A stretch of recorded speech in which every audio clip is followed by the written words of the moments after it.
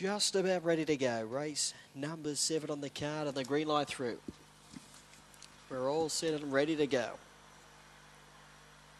Racing Matchstick began poorly out wide disco. Danny began well. She's boom brows showing pace up and unders making a line of three. And on the inside, speed sign railed through beautifully, grabbed the lead. Put up two into the back from She's boom brows, followed by up and under quality to excel. Matchstick, then Rigatoni, White Fredo, Disco Denny back to the rear. Speed sign by two. She's boom brows going out after it. Speed sign in the lead, tackled by She's boom brows. Up and under goes to second. And uh, She's Boom Brows came away to win it well. Now second, a toss up between Qualia to Excel and Matchstick. Up and under got tied the uh, last little bit.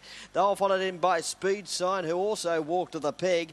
Then White Fredo, Disco, Denny, and Rigatoni in front of it. She's Boom Brows. Two black and white. She's Boom Brows getting the money. Has been racing consistently in recent times.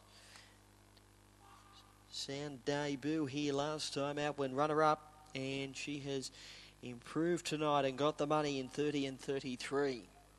Number three, Qualia to Excel has got through to grab second ahead of number four, Matchstick, and six green up and under. A tiring third. Two, three, four, and six are official.